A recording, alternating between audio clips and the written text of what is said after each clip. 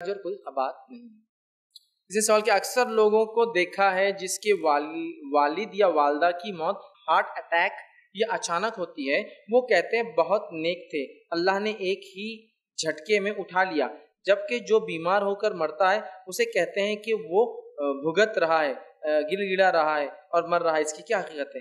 سب سے پہلی چیز یاد رکھیے، اچانک آنے والی موت سے رسول اللہ صلی اللہ علیہ وسلم نے پناہ مانگی ہے۔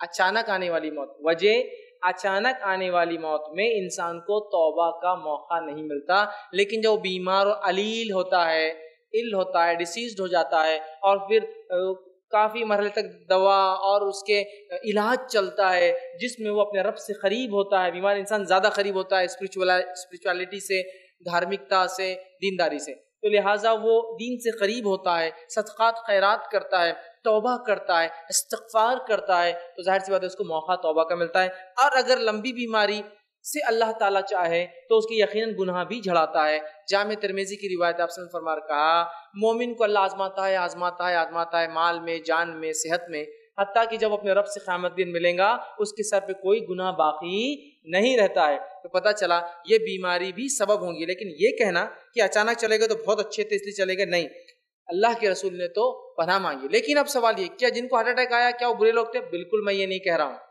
بالکل میں یہ نہیں کہہ رہا ہوں۔ میں یہ کہنا چاہ رہا ہوں کہ اچھا تو یہ ہے کہ انسان کو موقع ملے توبہ کا، لیکن اللہ جس کو جیسی چاہتا ہے، ویسی موت دیتا ہے ایک الگ بات ہے۔ اس سے کوئی اچھا اور برا نہیں ہوتا۔ اس لیے کہ بہت سارے صحابہ کو بہت تکلیف دے کر مارا گیا، شہید کیا گیا۔